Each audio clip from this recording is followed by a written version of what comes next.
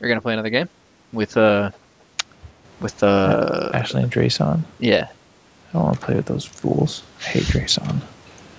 Do you? He's a Jew. I'm a Jew. Oh well, then I hate Dre and Kevin.